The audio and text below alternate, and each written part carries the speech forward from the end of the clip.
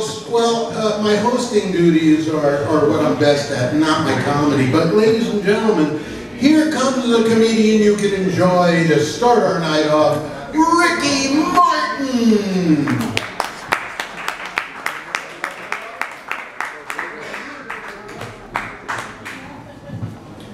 Hello, folks. Great to be here at KTB in Hasbrouck Heights, New Jersey. Ladies and gentlemen, aside from doing stand-up comedy, I've actually been working over at the Hilton in Hasbrouck Heights for a really long time.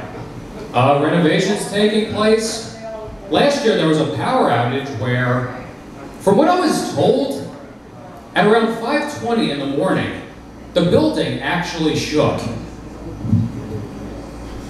that would scare the bejesus out of anybody. One minute you're sleeping, next minute. Right before I started my shift, I didn't know what was going on. Walking through the lobby, I saw that everybody had these white towels wrapped around them where they kind of looked like Jesus. Also, there was this gigantic bug zapper sized light, where when you walked by it, you might as well be wearing a pair of shades. I see a bright light. Thank you. You can't be all attracted to it like a moth would.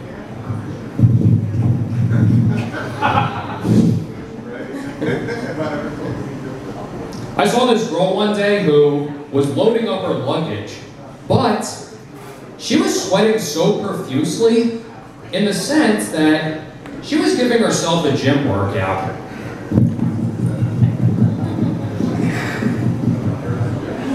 I asked her, do you need any help? No, I'm okay. I enjoy helping and talking to people, but I was having a conversation one day with this guy who had really bad breath.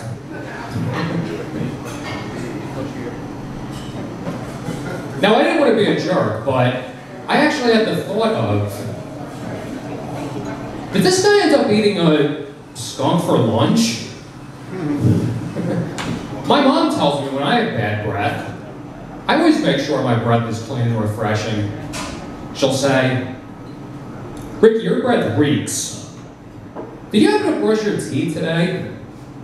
Apparently my breath must have smelled like a garbage fire. KTB, you all been terrific. Have a wonderful evening, folks. Enjoy the rest of the comics. Take care. Thank you.